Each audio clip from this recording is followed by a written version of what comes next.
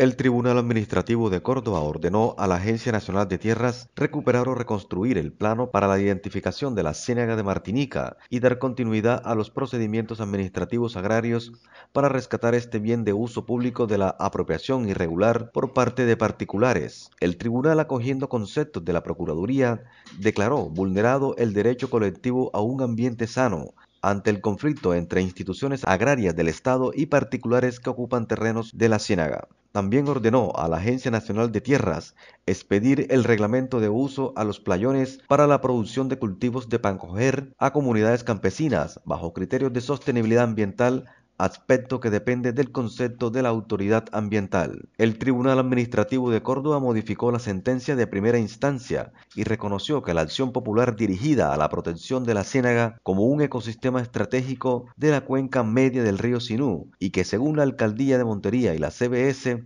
reviste especial importancia por su biodiversidad.